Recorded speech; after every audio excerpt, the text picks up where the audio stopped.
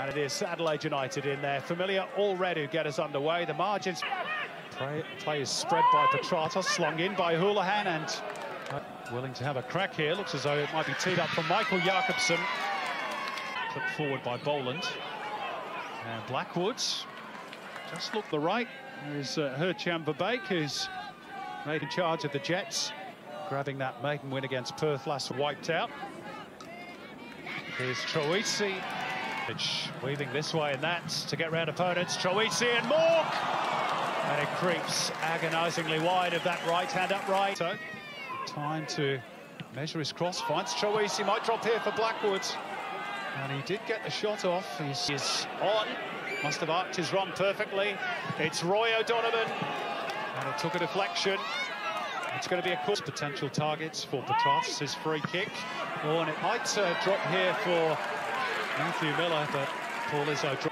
Looped up in the air by Mauk. Underneath it, Mileusnic and Blackwood just trying to hit it on the turn, but couldn't get.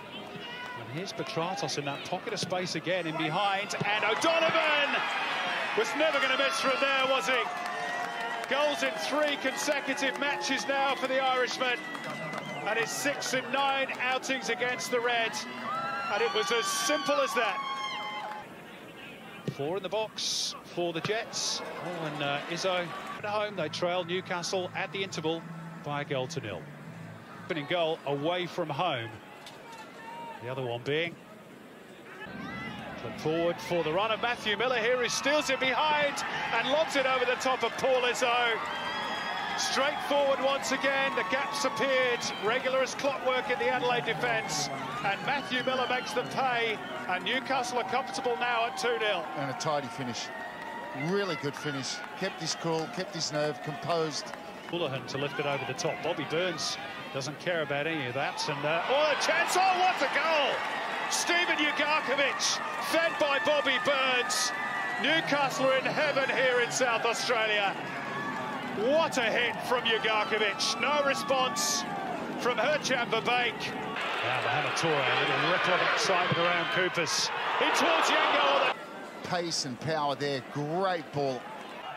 That's a beautiful ball by Boogaard again. It's Roy O'Donovan who leaves it for Millar because O'Donovan felt as though he might be off.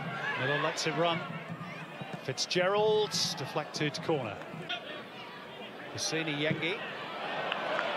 Well, it in behind Troisi for Dimi Petratos.